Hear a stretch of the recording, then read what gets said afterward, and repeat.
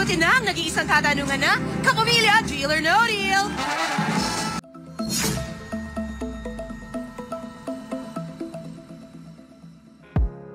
May pag-asa pa kayang bumalik sa telebisyon ang Queen of All Media na si Chris Aquino? Sa IG, isang fan ang nagbigay ng mensahe kay Chris na sana'y gumaling na ito para naman makabalik na siya sa paglabas niya sa telebisyon. Say ng netizen, quote, pagaling ka na Chris at nang makabalik ka na sa TV show. Nakakamiss ka kasi, unquote. Pero si Chris, mukhang alam nang hindi na siya muli makakasalang sa isang TV program. Paliwanag nga ng dating TV host, marami na raw siyang experience at may kinakaharap na rin daw siyang ibang mission sa buhay.